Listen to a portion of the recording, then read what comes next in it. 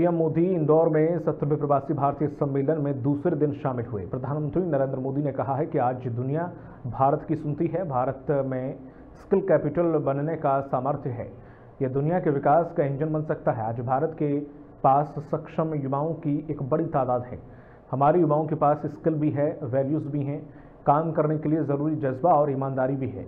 PM ने कहा कि इंदौर दुनिया में लाजवाब है। लोग कहते हैं कि इंदौर एक शहर है, लेकिन मैं कहता हूँ कि इंदौर एक दौर है, जो समय से आगे चलता है। इस साल भारत दुनिया के जी ट्वेंटी समूह की अध्यक्षता भी कर रहा है।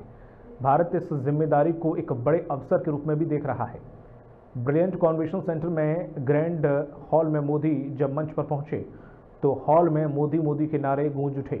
प्रधानमंत्री ने कहा कि अपनों से आमने सामने की मुलाकात, बात का एक अलग ही अंदाज और महत्व है। उन्होंने एनआरआईओ को कहा कि एमपी में माँ नर्मदा का जल, जंगल आदिवासी परंपरा और यहाँ बहुत कुछ है जो कि आपकी यात्रा को अविस्मरणीय बनाएगा।